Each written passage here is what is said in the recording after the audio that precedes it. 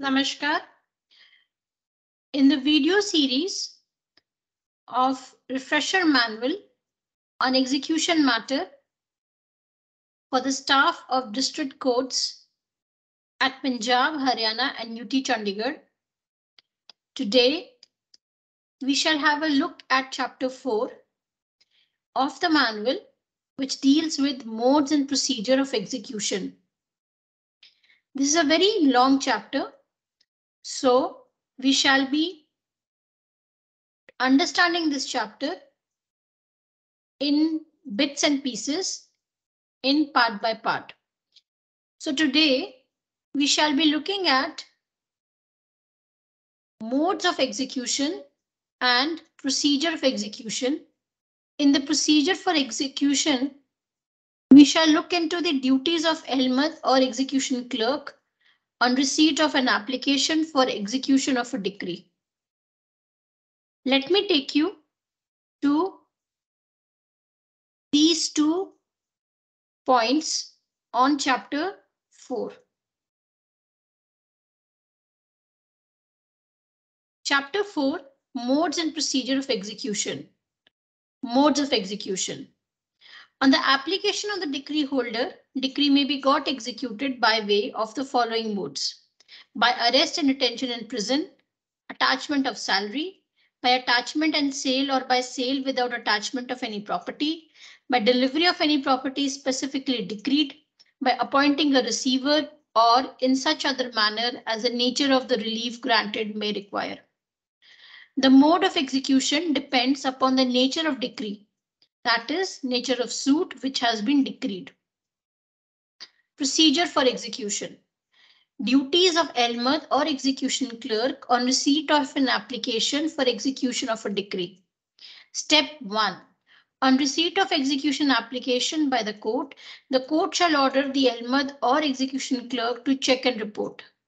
Step 2.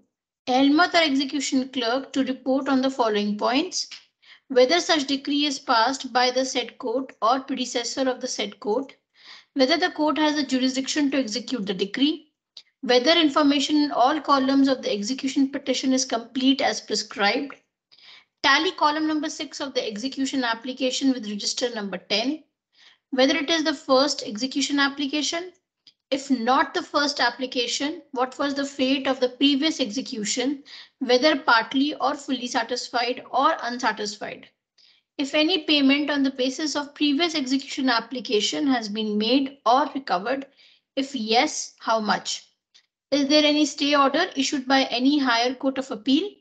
If any appeal filed, what is the fate of that appeal? Check from the application whether execution received by assignment or transfer from some other court in same district or transfer of decree from some other district, whether there is any mention in the application where property of judgment debtor falls or where ju judgment debtor resides, whether certified copy of a decree and the requisite documents are annexed herewith.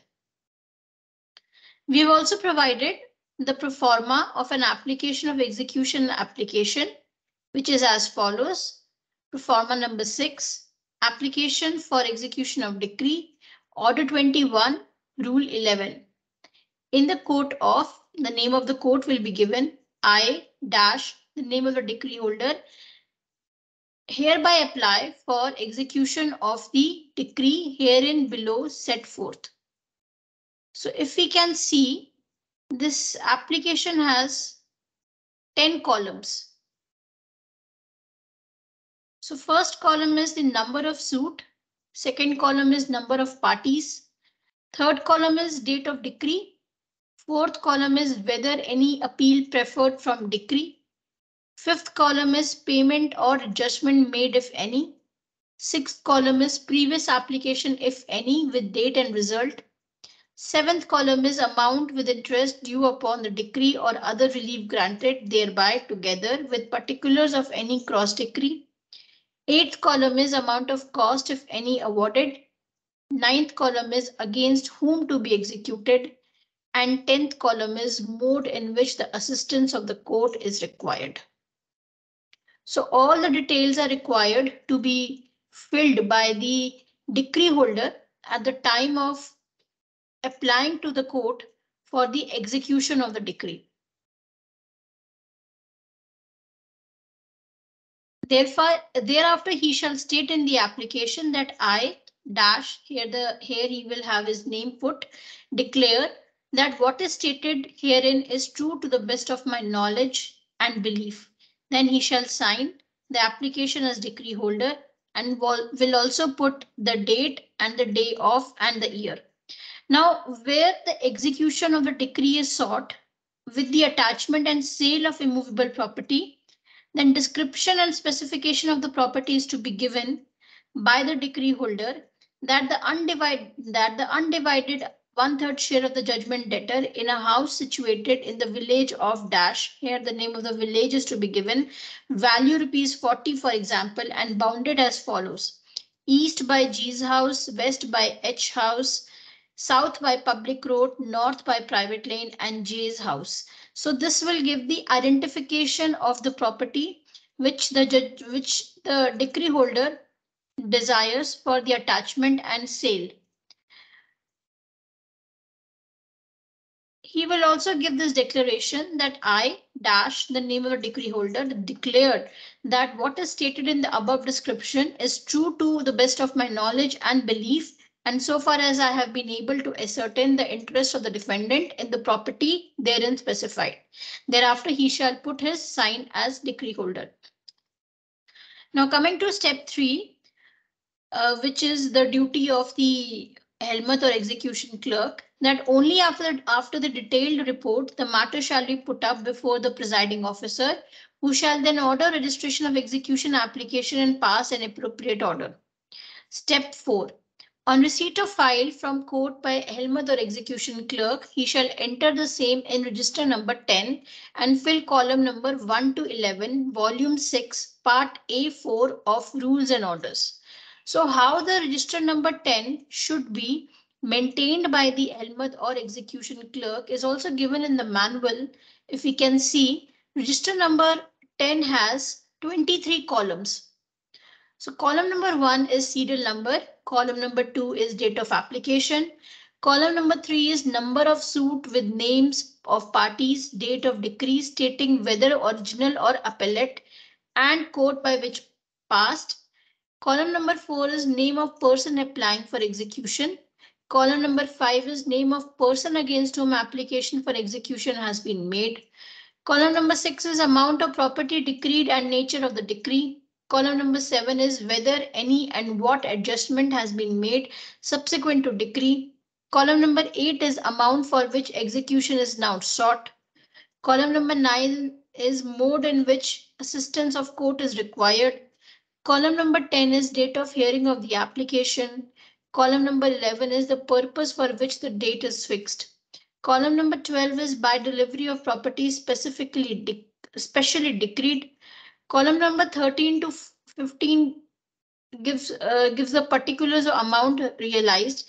That is, if the amount is realized by payment voluntarily or by attachment and sale of property or temporary alienation through character or by the court or by after arrest and so and imprisonment. Column number six is the total. Column number 17 is the date of issue of certificate under Order 21, Rule 94 CPC in the case of immovable property, and also the date of sending copy to the registering officer. Column number 18 is cause of non-completion of execution. Column number 19 is date on which a case of execution was struck off the file or transferred to the collector and purport of final order. Column number 920 is name of officer passing final order. Column number 21 is date of dispatch of record to the record keeper. Column number 22 is the date of consignment in the record room with number and record keeper, Kulliyat register, and column number 23 is remarks. Note, all second and subsequent applications in the same case should be entered in this register with red ink to ensure an accurate total of column 8 being obtained at the close of the year for annual district statement number 4 civil. In column number 2, both the dates of presentation and registration of application should be entered one over the other, the upper one being the date of presentation. Step 5. Fill various columns of the register. Affix serial number on the register and on the execution application. Step 6 where the court has passed an order to issue notice to JD, Ahlmad or execution clerk shall issue notice to JD to show cause why execution should not be issued against him in proforma number 7 appendix ECPC, which is as follows. So we have also provided the proforma on which the Ahlmad or execution clerk is to give the notice to show cause why execution should not issue Order 21, Rule 16 here in the title, the title of the case, that is the execution application is to be given. Now, if we read the proforma carefully, it says to whereas dash has made application to this court. So in the dash column, we have to write the name of the applicant or the decree holder. For execution of a decree in suit number dash of 19 oblique 20, here we have to give the a number of the suit along with the year on the allegation that the said decree has been transferred to him by assignment or without assignment. This is to give you notice that you are to appear before this court, the name of the court, on the dash, the date and the particulars when he is to appear before the court to show cause why execution should not be granted. Given under my hand and the seal of the court this day of dash. So here the year is to be given, the date is to be given when this notice is issued. And thereafter, there would be signature of the judge or the presiding officer of the court. Now, step seven is enter in dispatch register. Step eight is hand over the process to the Nazir for execution whose signature shall be obtained in dispatch register in token of handing over the said process. So the process that we are talking here is this process the notice, the notice which is given under uh, forma number seven. Step nine is that on the Zimni order sheet below the order of the presiding officer, Ahlmad is duty bound to make an endorsement to the effect that the process issued along with serial number and date of issue. Step 10 is the is to place the execution file in the Peshi for the date fixed. So uh, these were the two important points with regard to the execution that is uh, first is the mode of execution and second is uh, how, what are the duties of the Ahlmad or execution clerk pertaining to the execution application which has been filed before the court. So uh, in our next session, we shall be looking into the subsequent part of chapter 4. Till then, namaskar.